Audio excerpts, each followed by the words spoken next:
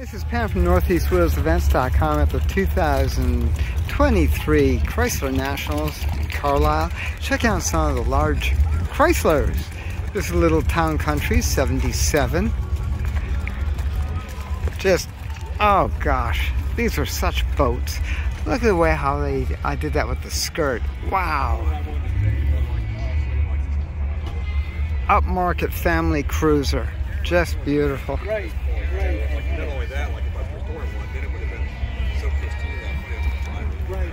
This one's like, This is it's great. presentable, but it's not perfect. Right, that's the best kind. You see where- how that's done. You know, the fit and finish just was not there It's same. But can you imagine climbing into that back seat over really there? cool. Wow. I have a 1980 Volare wagon. Oh, yeah, yeah, yeah. Uh, dog. But, uh, My parents never had one of any of those. He had the Fifth Avenue, so, so you got to drive those a little bit. oh, sure, similar sure, yeah. Body or whatever, That is great. How long have you owned it? not long, about six months. Yeah. What got you into wagons? Well, this is, I was the youngest of five kids, and this is what my parents had growing up. Were uh, nice, nice to meet you guys. All right, take take care. Had these uh, had these wagons. Uh, they had a few of them. The one that I got to drive uh, when I became my age was a white '77, the dark brown interior. But I bet Uh, you couldn't wait to get rid of it. well, my dad sold his in around 2000 for uh, $900, I believe. Uh-huh. He, he told me he said, you know, someday this is going to be a collector car, and I didn't believe him. And here I am, 20 some years later, buying one. Yeah. you know. Yeah, a little bit more than 900 bucks yes, too. Yeah, fortunately. Yeah. They are Another hot, the back, hot. essentially, you know.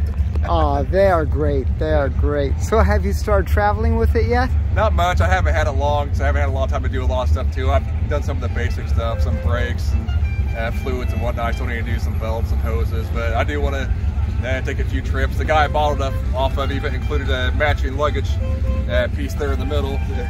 Oh, that's right. Yeah, yeah, yeah, yeah. Someday me and the wife are gonna have to go, uh, maybe take it for a little short weekend trip and get it valet checked and have carry the luggage and park this thing, you know. So Oh, I like that. definitely You gotta get the right uh, year outfits I definitely too. need to get some uh, some nice big collars and some bell bottoms and all that stuff. Yeah. Definitely, Look like a country definitely. rock star or something, you know. This thing's great. Absolutely great. Congratulations. Well, thank you. Really cool. Are you I'm going? to find one. I don't see I know. Well, Chrysler wagons were just forget about it. You don't get them. You just don't get them. You know, Plymouth, Dodge, yeah, but Chrysler, no.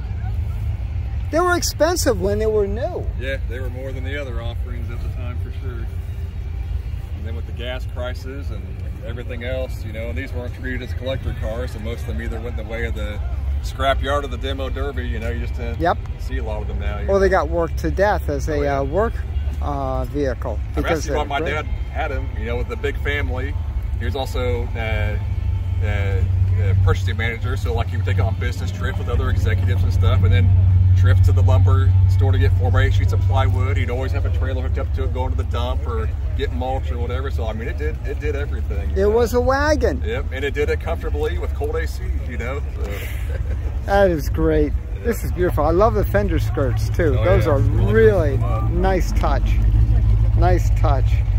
This is cool. What is your name? John, John, a pleasure, John. yeah, I'm Pam. nice to meet you. You got it. Enjoy the Thank you. Oh yeah. Oh.